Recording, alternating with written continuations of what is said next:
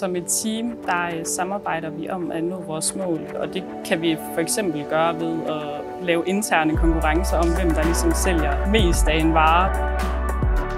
Det betyder sindssygt meget for mig at have passionerede kollegaer. Også fordi, at det er med til at motivere en selv til at ligesom gøre sit arbejde bedre. Så det betyder helt sikkert en del, at man kan mærke, at de også brænder for det, som man ligesom selv gør.